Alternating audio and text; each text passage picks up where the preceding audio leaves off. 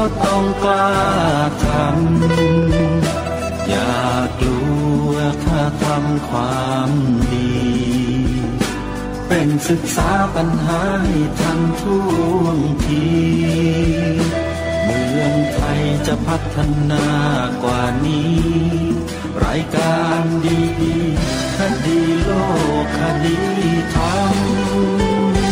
ขอรำ รำพันบรรยาย ความคิดเครื่องหมายแห่งสีทั้งสามงามถนัดขาวคือบริสุทธิ์สีสวัสดิ์หมายพระไตรรัตน์และธรรมะคุ้มจิตไทย แดงคือโลหิตเราใส ซึ่งยอมสละได้ เพื่อรักษาชาติศาสนา น้ำเงิน คือสีโสภา อันจอมประชาถ้าโปรดเป็นของส่วนองค์จากริ้วเข้าเป็นไตรรงค์จึงเป็นสีธงที่รักแห่งเราชาวไทยารอวตารนำไป ยงยุทธวิชัยวิชิตก็ชูเกียรติสยามประเทศไทยที่เจริญมั่นคงมาได้จนถึงทุกวันนี้มิได้เกิดขึ้นจากความหวาดกลัวอย่างขาดเขลา แต่บรรพบุรุษไทยของเราทุกยุคทุกสมัย ล้วนแต่มีความกล้าหาญและชาญฉลาด ปกป้องเอกราชสร้างชาติให้เกิดความมั่นคง โดยมีธงแห่งพระไตรรัตน์เป็นเครื่องนำชัย จึงเป็นที่มาที่ไปของรายการ คดีโลก คดีธรรม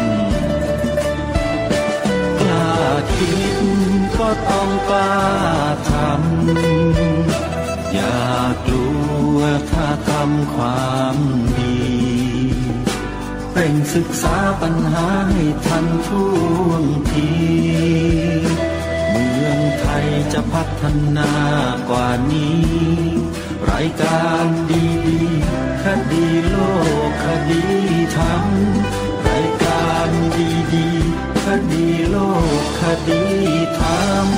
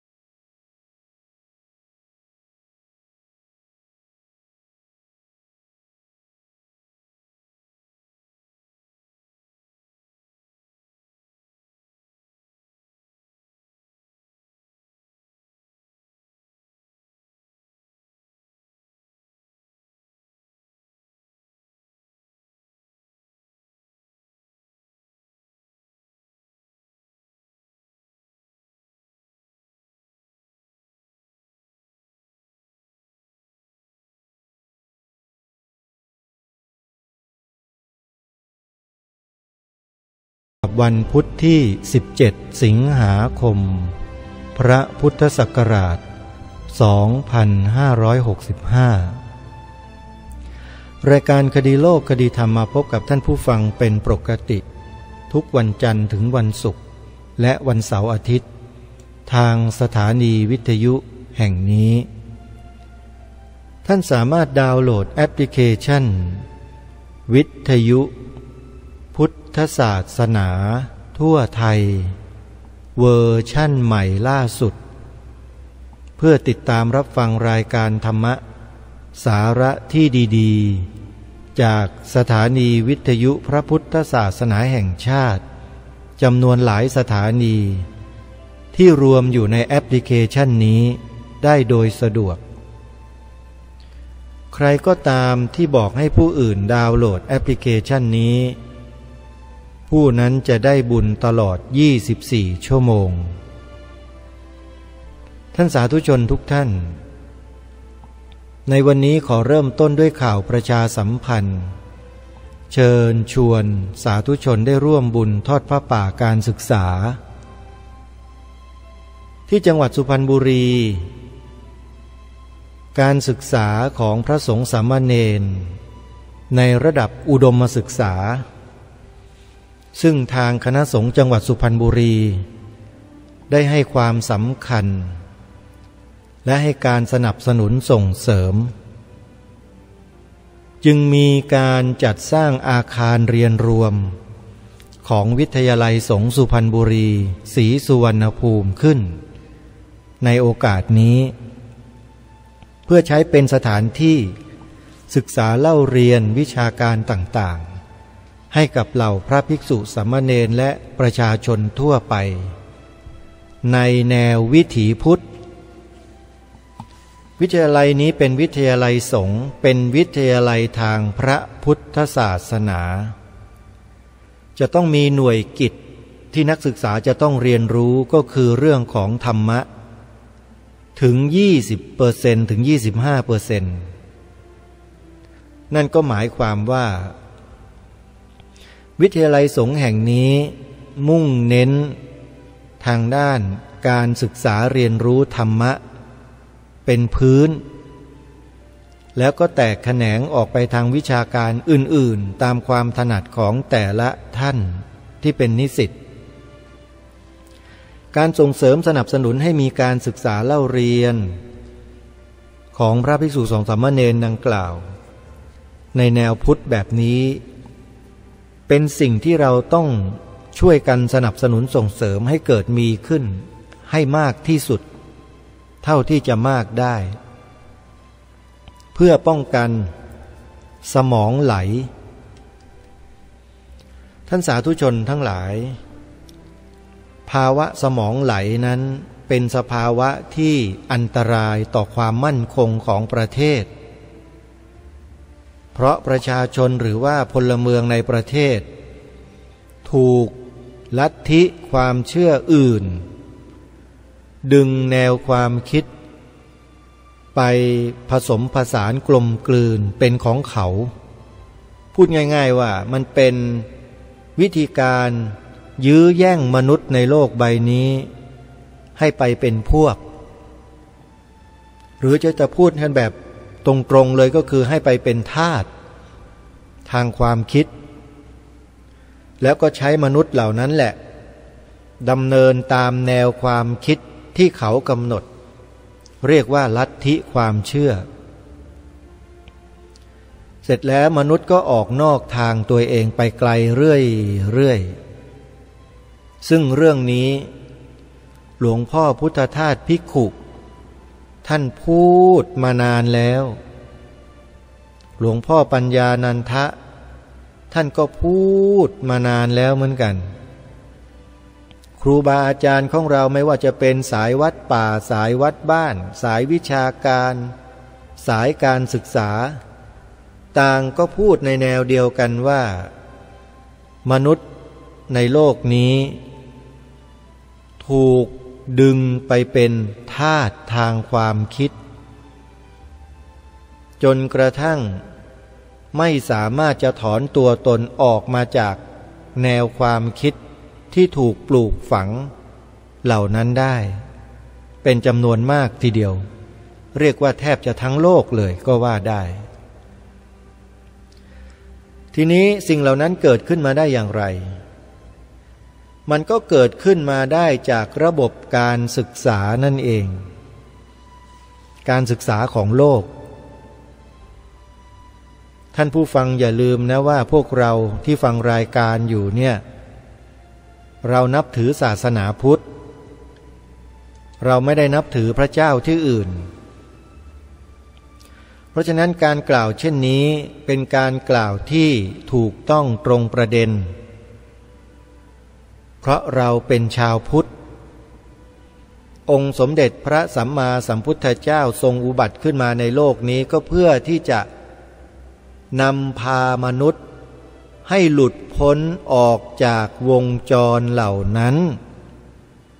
คือแนวความคิดที่ผิดผิดเนี่ยเพื่อมาสู่แนวทางที่ถูกต้อง แล้วนำตนเองให้พ้นจากความทุกข์ ซึ่งเป็นความปรารถนาสูงสุดของมนุษย์ในโลกใบนี้ทั้งหมด ได้ มีแต่พระสัมมาสัมพุทธเจ้าเท่านั้น ที่จะพามนุษย์ให้หลุดพ้นจากความทุกข์ทั้งปวงได้ แต่เจ้าลัทธิอื่นนักปรัชญาอื่น พระเจ้าอื่นๆ นอกจากจะไม่สามารถนำพาให้มนุษย์พ้นจากความทุกข์ทั้งปวงได้แล้ว ยังสั่งสมกองทุกข์ให้กับมนุษย์ เพิ่มพูนยิ่งยิ่งขึ้น ถามว่ามันเป็นบุญหรือว่าเป็นบาป อันนี้ลองพิจารณาลองคิดกันดู เพราะฉะนั้น การที่รายการประกาศเชิญชวนให้พวกเราได้มีส่วนร่วม สร้างอาคารเรียนรวม ให้กับพระสงฆ์ สามเณร อุบาสกอุบาสิกา ได้เข้าไปศึกษาเล่าเรียนวิชาการต่างๆ โดยมีวิชาการทางพระพุทธศาสนาเป็นพื้นฐานเนี่ยท่านว่าเป็นสิ่งที่ สมควรเป็นสิ่งที่ดี หรือไม่ ถ้าใครเห็นว่าดี วันศุกร์ ที่ 19 สิงหาคมที่จะถึงอีกสองวันเนี้ย ไปร่วมบุญกัน จะมีการจัดงานทอดผ้าป่าการศึกษา สร้างอาคารเรียนรวมวิทยาลัยสงสุวรรณภูมิ หรือสุพรรณบุรีศรีสุวรรณภูมิ งานเขาจัดกันตั้งแต่เช้าไปจนถึงเย็น จัดที่ไหน จัดที่วัดป่าเลไลวรวิหาร จังหวัดสุพรรณบุรี ที่ใกล้สวนกล้วยบานาน่า อาคารอาสมพรมเวที ที่เดิมซึ่งเป็นสถานที่จัดงานใหญ่ที่นั่น งานนี้จะมีการถ่ายทอดสดทางสถานีโทรทัศน์ผ่านดาวเทียม ดีดีทีวี โดยมีอัตมาภาพและท่านผู้อำนวยการสถานีโทรทัศน์ดีดีทีวีเดินทางไปร่วมกิจกรรมในครั้งนี้ด้วย จึงขอเรียนเชิญเจริญพรศรัทธา สาธุชนทั้งหลาย ที่มีความสนใจ จะร่วมสร้างบารรมีในส่วนนี้ ขอเชิญไปร่วมงานกัน ในวันศุกร์ที่จะถึงนี้แหละ วันศุกร์ ที่ 19 สิงหาคม พระพุทธศักราช 2565 ที่วัดป่าเลไลวรวิหาร อำเภอเมืองจังหวัด สุพรรณบุรี ถ้าหากท่านใดมีความสนใจ จะร่วมบุญ สร้างอาคารเรียนรวมของวิทยาลัยสงสุพรรณบุรี ท่านก็สามารถ ติดต่อ เพื่อขอร่วมเป็นเจ้าภาพได้ กับทางคณะ กรรมการ บริหาร วิทยาลัยสงสุพรรณบุรีสีสุวรรณภูมินี้ได้ โดยโทรศัพท์เข้าไปเพื่อสอบถามรายละเอียด ที่หมายเลขโทรศัพท์ดังต่อไปนี้ 0 8 4 ห้าหกเจ็ดแปดเก้าแปดศูนย์เป็นหมายเลขโทรศัพท์ของผู้อำนวยการ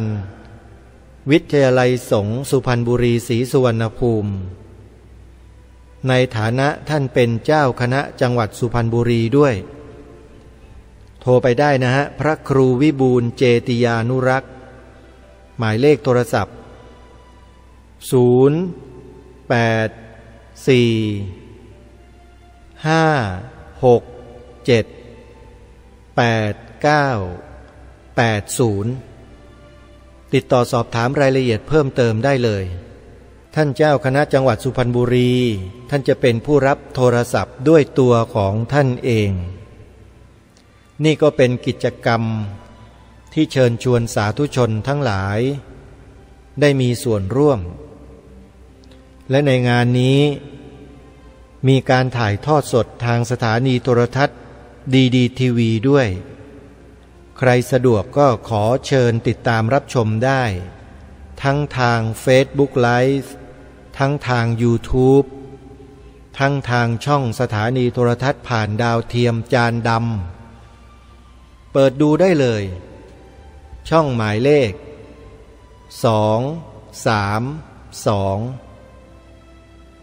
อันนี้เป็นกล่องรับสัญญาณยี่ห้อ PSI ช่องดีดีทีวีจะอยู่ที่หมายเลขช่อง 232 ถ้าเป็นกล่องรับสัญญาณของ True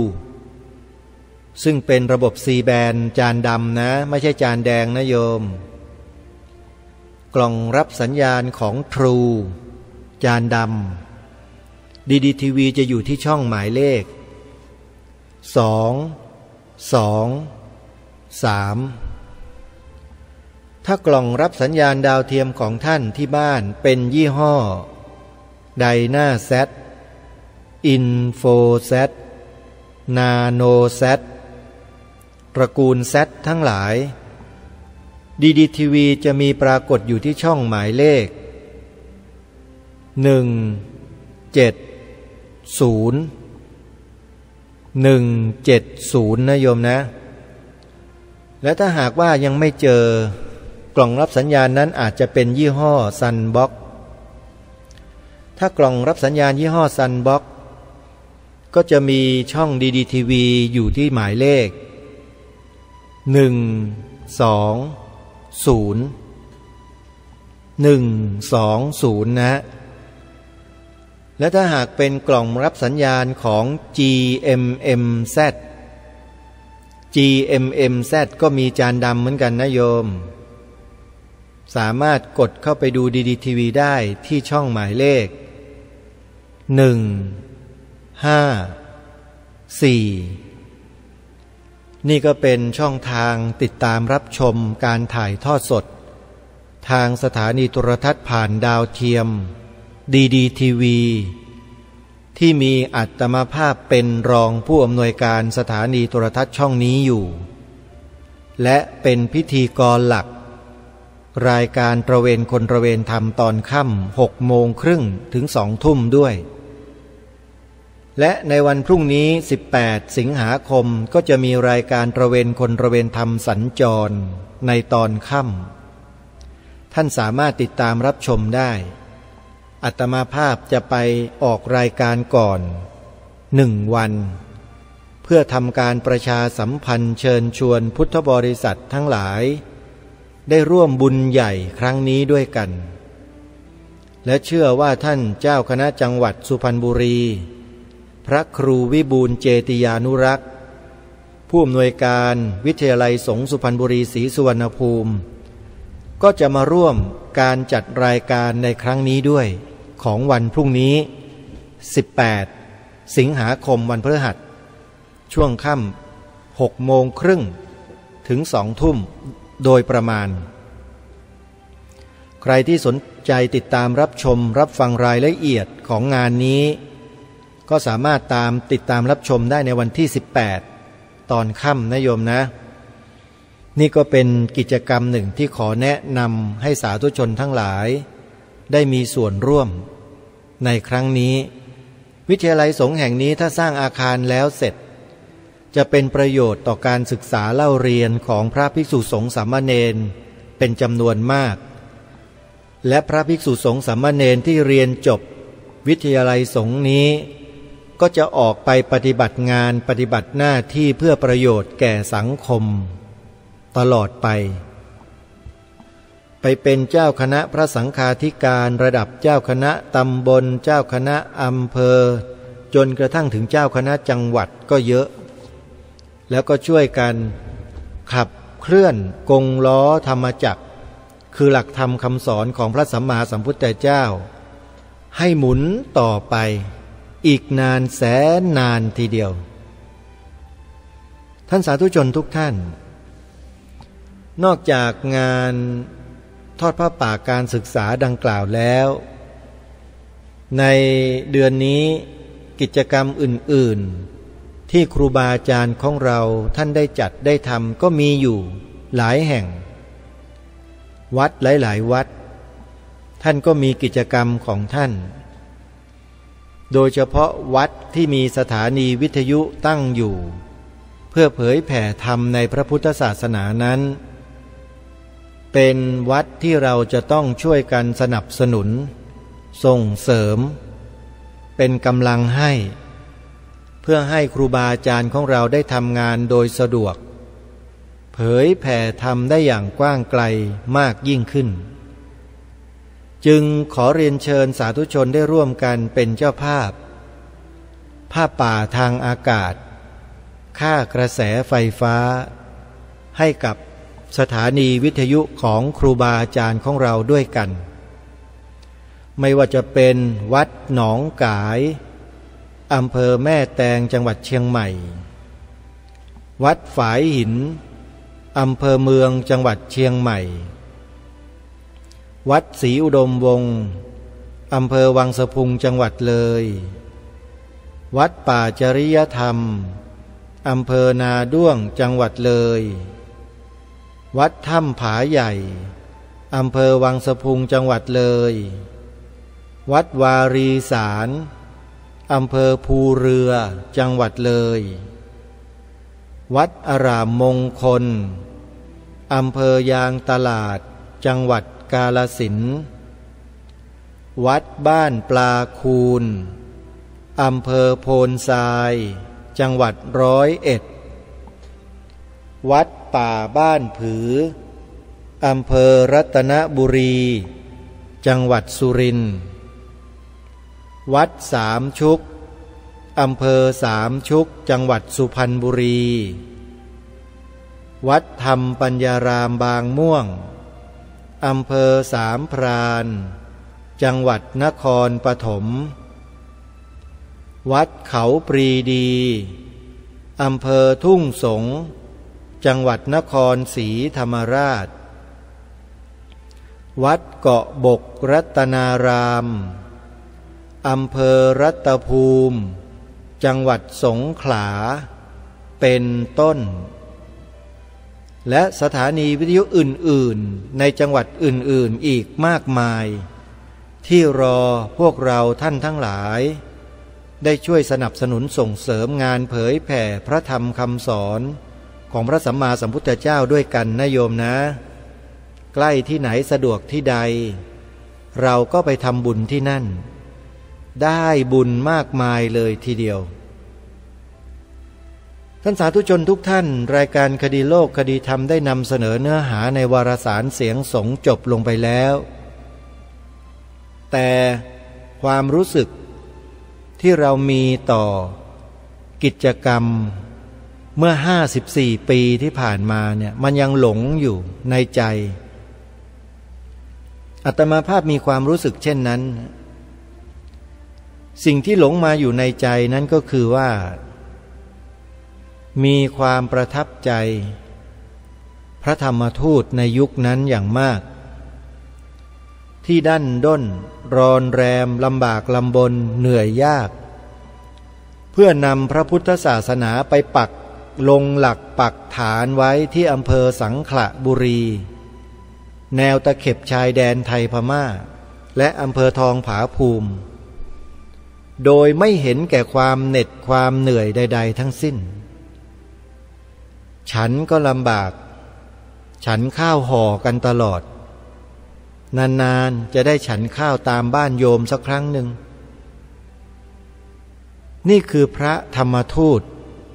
ที่ทำงานเผยแผ่พระพุทธศาสนาในยุคนั้น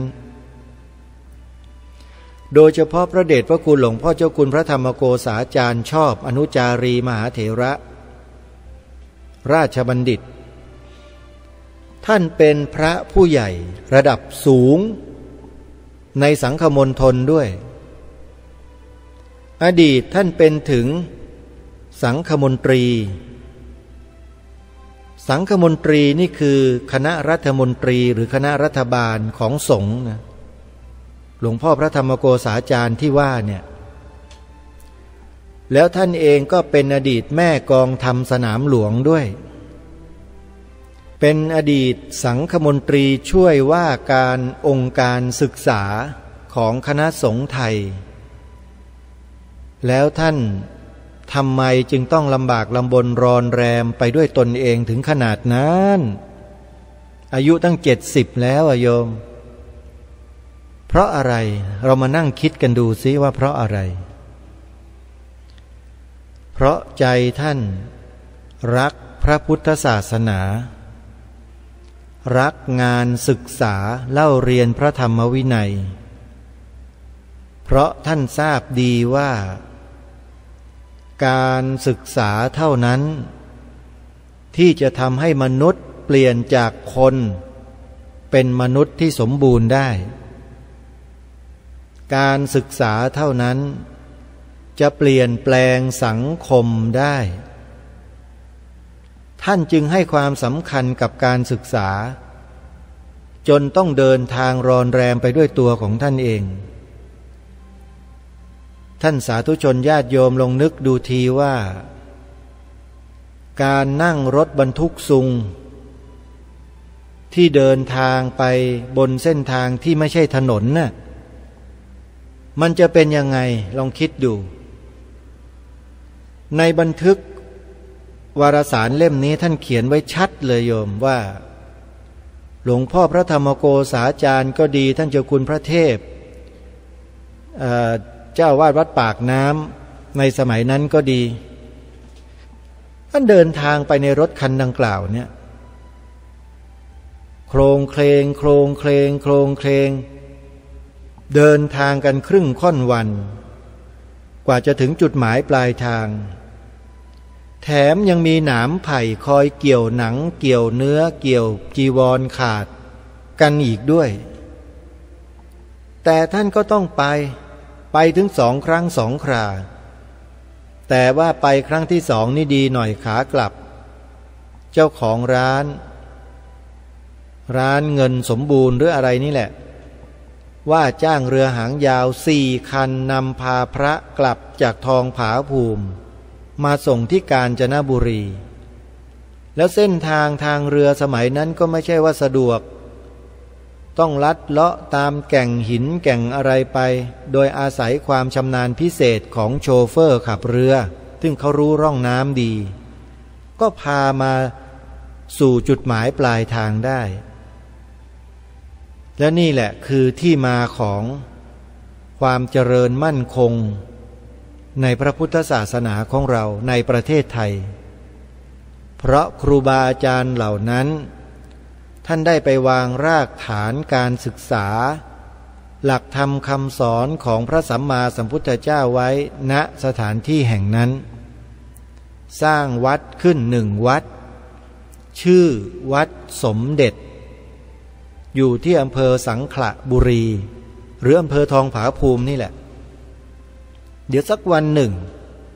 อัตมาภาพนี่แหละจะเดินทางไปด้วยตนเอง ไปวัดดังกล่าวเหล่านี้แหละ ก็มีวัดศรีสุวรรณาราม วัดสมเด็จ วัดวังปะโท วัดวังวิเวกะ วัดวังกะวิเวการาม ของหลวงพ่ออุตมะยังไม่เคยไปเลยที่นั่น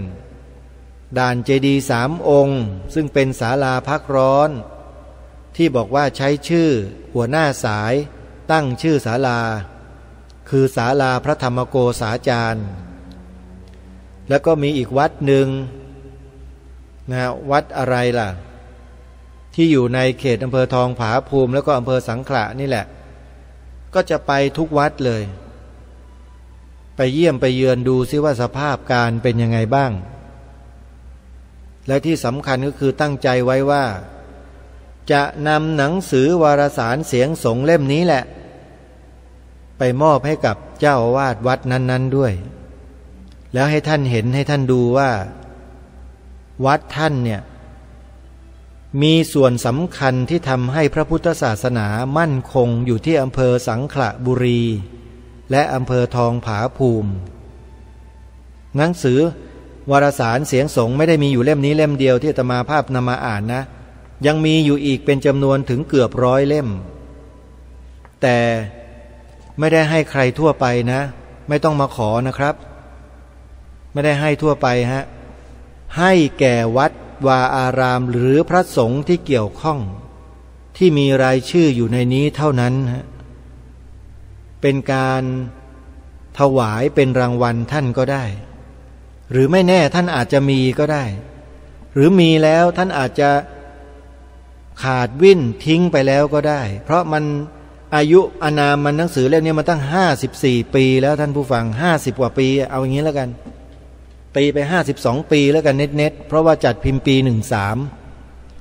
ห้าสิบสองปีแล้ว กระดาษที่จัดพิมพ์หนังสือสมัยก่อนเนี่ยก็เป็นกระดาษที่ยังมีคุณภาพไม่มาก แล้วอยู่มาได้ถึงห้าสิบกว่าปี ท่านลองคิดดูว่า กระดาษมันจะกรอบเหมือนข้าวเกรียบยังไงก็อย่างนั้นเลย เนี่ยอาตมาภาพจับที่ขอบปุ๊บหักปั๊บเลยนะโยมเนี่ยคือกระดาษไม่มีความชื้นเหลืออยู่ เพราะเก็บไว้นานมาก ซึ่งจะนำไปมอบถวายกับเจ้าวาดวัดต่างๆ เหล่านั้น วัดละหนึ่งเล่ม เพื่อเป็นอนุสรณ์เก็บไว้ เป็นพิพิธภัณฑ์ของวัดไปเลย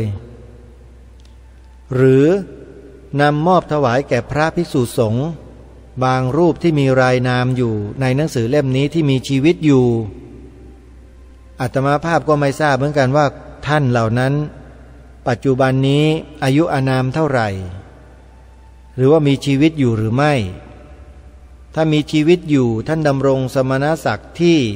พระครูสัญญาบัตรหรือว่าเป็นพระราชาคณะชั้นต่างๆแล้วก็ไม่ทราบ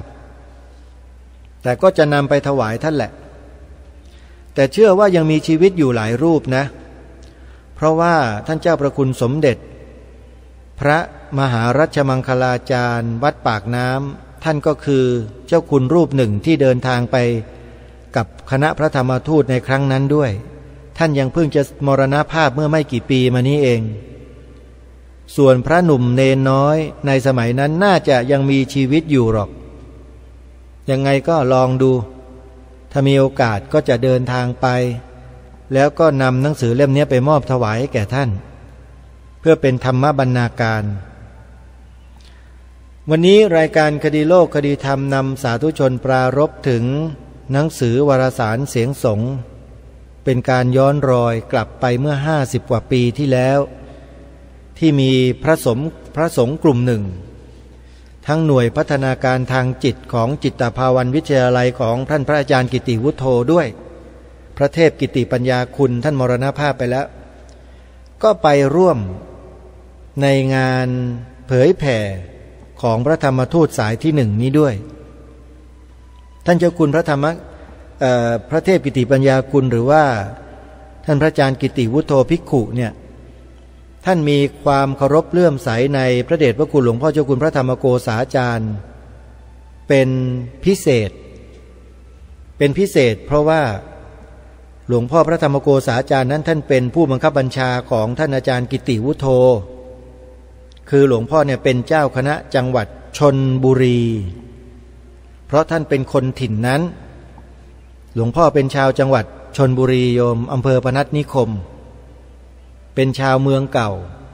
แถวตะวันออก ซึ่งโยมแม่ตมาภาพก็เป็นคนตะวันออก คือจากเชิงเซาเหมือนกัน ภาคเดียวกัน ก็เลยได้มีโอกาส มาอยู่อุปัตวัดถากท่าน เมื่อสมัยครั้งที่เป็นเด็กวัดอยู่ที่นี่ ที่นี่ก็คือที่ที่อาตมาภาพกำลังออกรายการออกอากาศอยู่นี่แหละคือออกอากาศแล้วส่งสัญญาณไปตามสถานีวิทยุต่างๆ ทั่วประเทศ แต่สถานที่จัดรายการอยู่ที่นี่ ที่เดียวกับที่หลวงพ่อพระธรรมโกษาจารย์ท่านอยู่นี่แหละ ก็คือกุฏิพระธรรมโกษาจารย์ มีอยู่หลังเดียว ที่มีหน้าบันเป็นธรรมจักร ที่เป็นกุฎีสงนะ ยกเว้นตำหนัก ยกเว้นโบสถ์วิหารนั้นเขามีหน้าบันโดยธรรมชาติของเขาอยู่แล้ว แต่กุฏิธรรมดาธรรมดาที่มีหน้าบันเนี่ยในวัดมหาธาตุมีหลังเดียว เมื่อปีพระพุทธศักราช 2563 ที่ผ่านมาเนี่ย พระเดชพระคุณหลวงพ่อเจ้าคุณ พระพรมวชิระวชิราธิบดี เจ้าคุณพระพรมวชิราธิบดี อธิบดีสงฆ์วัดมหาธาตุท่านดำริให้มีการซ่อมแซมบุรณะปฏิสังขรณ์หลังคาทั้งหลังเลย หลังคาทั้งหลังเลย ซ่อมเสร็จประมาณปลายปี 63 ทาสีอะไรเสร็จปี64ซึ่งทางหลวงพ่อเจ้าอาวาหรืออธิบดีสงฆ์ท่านดำริกับอัตมาภาพเองเลยว่า หน้าบันของหลวงพ่อต้องเก็บไว้ หรือไม่ได้ ท่านบอกอย่างเนี้ย หลวงพ่อพระพรมวชิราธิบดี อธิบดีสงฆ์วัดมหาธาตุยุวราชรังสฤษท่านบอกอัตมาภาพว่า อย่าไปเอาออกนะ เป็นอนุสรให้หลวงพ่อ นั่นหมายความว่าอะไร หมายความว่าอธิบดีสงฆ์วัดมหาธาตุยุราชรุรังสฤษปัจจุบันเนี่ยท่านก็ให้ความเคารพต่อหลวงพ่อ พระผู้ใหญ่เขารู้กัน ว่าใครเป็นใคร เขาจะเคารพกันมาก แล้วกลัวกันมาก พระผู้ใหญ่สมัยก่อน ท่านเอาจริงเอาจังนะโยม ไม่เหมือนสมัยนี้นะ แต่ไม่ได้หมายความว่าจะมาปารมาสครูบาอาจารย์พระเถระผู้ใหญ่สมัยนี้ไม่ใช่นะครับ ผมพูดเรื่องจริง ผมพูดความจริงครับว่า จะหาพระผู้ใหญ่ที่มีความหนักแน่นมั่นคง กล้าหาญเด็ดเดี่ยว เหมือนอย่างหลวงพ่อพระธรรมโกษาจารย์ชอบอนุจารีมหาเถรราชบัณฑิต หายากครับทำไมจึงกล่าวเช่นนั้นว่าหายาก เพราะพระในเมือง ที่จะมีปฏิปทามีข้อวัดปฏิบัติ ที่เสมอต้นเสมอปลายนั้น หายากครับ หลวงพ่อพระธรรมโกษาจารย์รูปนี้เนี่ยอัตมาภาพอุปัตวัฏถากท่านมาด้วยด้วยมือตัวเอง รับใช้ถวายการรับใช้ท่านมาด้วยมือตัวเอง ตอนนั้นอยู่ชั้นประถมปีที่ห้าปีที่หก ได้มีโอกาสรับใช้ถวายแก่หลวงพ่อมาตลอด หลวงพ่อฉันอะไรตอนเช้าอาตมารู้ หลวงพ่อชอบฉันอะไรตอนกลางวัน อาตมาภาพทราบ หลวงพ่อชอบใช้ครีมทา กล้ามเนื้อ ยี่ห้ออะไร ทราบ หลวงพ่อชอบใช้น้ำอะไร เช็ดกาย เช็ดหน้า เช็ดตา น้ำอะไร ทราบ นี่แหละคือลูกศิษย์ก้นกุฏิคนหนึ่ง รุ่นสุดท้าย รุ่นสุดท้ายจริง ๆ ได้อุปวัถากหลวงพ่อในบ้านปลายชีวิตสุดท้ายจริง ๆ โยมจำได้เคยเล่าให้ฟัง ตอนที่หลวงพ่อเริ่มอาพาธอาการแสดงออกครั้งแรก คือมาแสดงที่วัดมหาธาตุนี่แหละ อัตมาภาพก็ทำหน้าที่อยู่ในกุฏิปกตินั่นแหละ อยู่ๆก็ได้ยินเสียงออด คือในนั้นจะมีเสียงออดอยู่อันหนึ่งหลวงพ่อจะใช้กดเรียกลูกศิษย์ดังสนั่นหวั่นไหวกุฏิเลยแหละ พูดง่าย ๆ ว่าใครเดินมาใกล้เนี่ยพอหลวงพ่อกดนี่ตกกระจายของเขิงกระเด็นหมดนะหลวงพ่อท่านให้ติดตั้งอย่างนั้น พอกดปุ๊บอาตมาก็รีบวิ่งขึ้นไปเลย ครับหลวงพ่อ เข้าไปยกมือไหว้พูดกับท่าน ยกมือไหว้ทุกครั้งนะครับ เป็นเด็กวัดนะ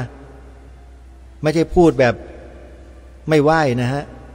นี่แหละการไหว้นี่แหละมันจึงติดตัวมาถึงทุกวันนี้เวลาพูดกับพระผู้ใหญ่ก็จะยกมือไหว้ตลอด ยกมือไหว้ถามพ่อครับ มีอะไรให้รับใช้ครับผม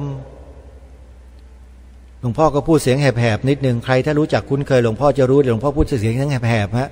เออเอิงไปซื้อ คอมพิวเตอร์ให้หน่อยอาตมาตอนนั้นเป็นเด็กวัดงง ให้หลวงพ่อไม่เคยใช้ให้ไปซื้อคอมพิวเตอร์ วันนี้ทำไมให้ให้เราไปซื้อคอมพิวเตอร์วะนึกในใจอย่างนั้นเด็กวัดนะโยม แปลก ครับครับหลวงพ่อฮะ มันคืออะไรครับหลวงพ่อ ท่านก็ว่ามานิดนึง ไอ้เฮาก็คอมพิวเตอร์ท่านว่างั้นนะ เออครับครับเดี๋ยวผมไปถามหลวงลุงให้ครับว่าคืออะไร หลวงลุงหลวงพ่อบอกให้ซื้อคอมพิวเตอร์ลุงก็หัวเราะคิกคิกคิกคิกไม่ใช่มั้งตอนนั้นหลวงลุงแข็งแรงมากยังแข็งแรงอยู่ลองไปถามใหม่สิใช่ครีมนวดหรือเปล่า มาก็วิ่งเข้าไปถามหลวงพ่อต่อหลวงพ่อครับ ใช่ครีมนวดไหมครับ เออ นั่นแหละ คอมพิวเตอร์ ไม่ใช่หลวงพ่อเคาน์เตอร์เพนครับหลวงพ่อ หลวงพ่อท่านใช้เคาน์เตอร์เพนตลอด เพราะมีโยมซื้อถวายโยม เพอเอิญวันนั้นมันหมด หลวงพ่อก็เลยใช้อาตมาไปซื้ออาตมาก็วิ่งไปซื้อเลย ที่ร้านขายยาท่าพระจันทร์เนี่ยซื้อมาถวายหลอดหนึ่งปรากฏว่าหลวงพ่อมีอาการผิดปกติทางสมอง จะพูดว่าเคาน์เตอร์เพนแต่กลับออกมาเป็นคอมพิวเตอร์ นั่นคือสัญญาณแรกที่หลวงพ่อเริ่มมีเส้นสมองตีบ เสร็จแล้ว พออาการกำเริบมากขึ้นมากขึ้นนำส่งโรงพยาบาลทันที และโรงพยาบาลที่ใกล้ที่สุดก็คือ โรงพยาบาล มิชชั่น ปรากฏว่าไปอยู่ไม่กี่วันลูกศิษย์ลูกหาต้องรีบ ย้ายโรงพยาบาลด่วน เพราะแพง มหาศาล ลูกศิษย์สู้ไม่ไหว ย้าย อัตมาภาพนี่แหละ เป็นลูกศิษย์คนเดียวที่ตามไปอุปัตวัถากหลวงพ่อที่โรงพยาบาลมิชชั่น และพอย้ายโรงพยาบาลก็ไม่ได้ตามไปด้วย ทางลูกๆหลานๆหลวงพ่อที่เป็นลูกศิษย์ทางชลบุรี ดูแลอุปัดวัถากหลวงพ่อแทนทั้งหมด และนั่นคือครั้งสุดท้าย รองสุดท้ายสิ รองสุดท้าย ที่ได้พบได้รับใช้หลวงพ่อ แล้วก็ได้ไปที่วัดราชบำรุง งานวันอายุวัฒนมงคลหลวงพ่ออีกครั้งหนึ่ง แล้วก็ได้ไปกราบท่าน ตอนนั้นหลวงพ่อก็ล้มอาพาธแล้ว ไม่สามารถจะทำกิจใดๆได้ สุดท้ายจริง ๆ ที่ไปเห็น แล้วท่านก็มรณาภาพลงอย่างสงบในเวลาต่อมา ใช้เวลาอยู่ประมาณสัก สามสี่ปีนะโยมกว่าหลวงพ่อจะมรณภาพเนี่ย เพราะว่าหมอก็ช่วยยื้อชีวิตหลวงพ่อไว้ ยื้อไว้ทำไมก็รู้ๆกันอยู่นะ คงไม่ต้องพูดอะไรกันเยอะ นี่แหละคือ พระเถระผู้ใหญ่รูปหนึ่ง ที่ท่านทุ่มเทและเสียสละความสุขส่วนตน อยู่ในเมืองเป็นเจ้าคณะจังหวัดชนบุรี เป็นราชบัณฑิต แต่ทำไมต้องรอนแรมพาตนเองลำบากยากเข็นไปกับพระหนุ่มเนนน้อย ซึ่งเป็นพระธรรมทูต ไปทำงานเผยแผ่พระศาสนาด้วยตัวของท่านเองด้วยเล่า เพราะหลวงพ่อนั้น มุ่งหวังประโยชน์ เป็นอันมาก โยมฟังข้อนี้ให้ดีนะ หลวงพ่อท่านมุ่งหวังประโยชน์เป็นอันมากให้เกิดขึ้นแก่พื้นที่เหล่านั้น แก่คนที่นั่น หลวงพ่อจึงต้องไปเอง เพราะหลวงพ่อท่านมีความเชื่อมั่นว่า ถ้าหลวงพ่อไปเองแล้วจะประสบความสำเร็จได้โดยไม่ยาก แล้วก็สำเร็จตามที่ท่านคิดไว้จริง ๆ เพราะพระสงฆ์ที่มีอิทธิพลต่อบรรดาญาติโยมที่นั่นมีอยู่รูปหนึ่งที่ชื่อว่า หลวงพ่ออุตตมะ วัดวังกาวิเวการามนยโยม ดังมากในยุคของพวกเราเนี่ย